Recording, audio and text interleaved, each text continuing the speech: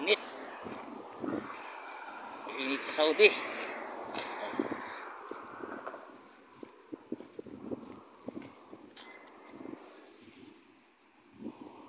Dito dumaan sa lalim ng niyog. Niyog.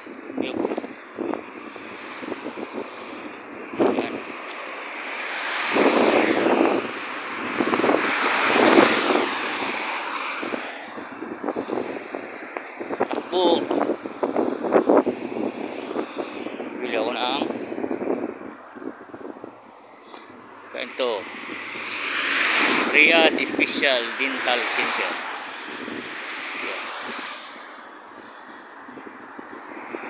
Ako dito, bakala.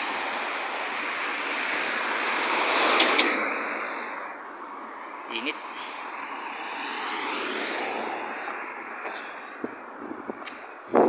Dito. Bili ako ng